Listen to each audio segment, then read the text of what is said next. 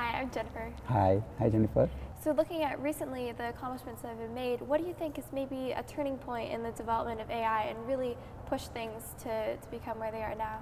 So first of all, let me just point out that human race has always tried to understand how intelligence works. And it's kind of interesting to me that Turing, who is considered the father of computer science, um, he didn't think when he was talking about computer, what's the biggest Excel spreadsheet the computer can open, but his first question is, can machines think? So it's a, the point is we always wanted to see, you know, how we think, how we do what we call intelligent tasks. And it's just that the infrastructure for checking whether the theories we are developing are just high level theories or whether they're actually feasible has only occurred recently and that's part of the reason why you see a lot more uh, what looks like a lot more development.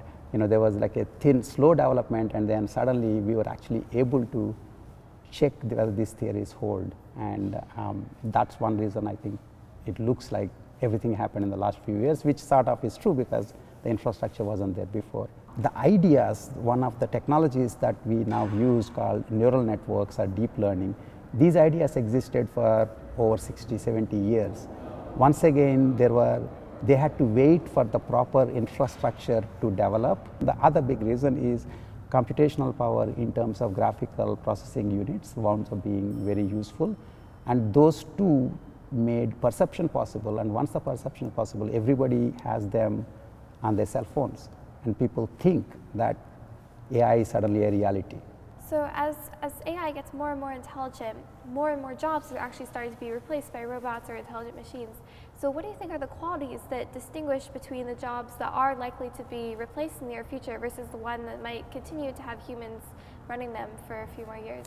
That's, that's a very good question. In fact, I don't think anybody knows the full answer to it. You know, there's a lot of thinking in the field as well as, you know, outside of the field as to how this would play out.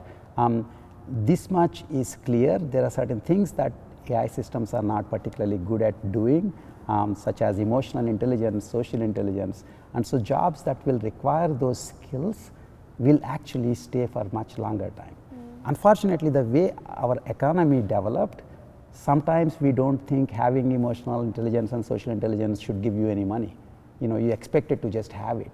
So funny thing is that the kind of jobs that people get after going through school for 20 years and become a medical doctor or a you know, paralegal professional might get automated much faster um, because they're just routine but highly cognitive and those can be automated whereas non-routine and cognitive tasks and non-routine and tasks which require emotional and social skills might stay much longer. Do you see any sorts of new ethical issues emerging as robots and AI systems become increasingly prevalent?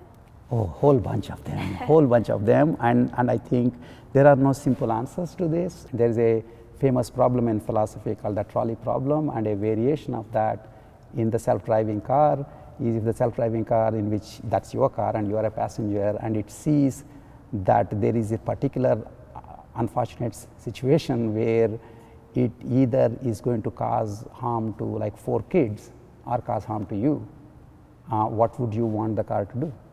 There is this um, beautiful statement that you go around the universe and in the end you will come back to where you started from and know that place for the first time. And so maybe dealing with intelligent machines might make us understand what humanity is or what, what being human is in the first place. But humanity as a whole is going to be thinking about this question because unlike physics and chemistry, making intelligent machines is essentially bringing a mirror to what you think of, what you think yourself about humanity.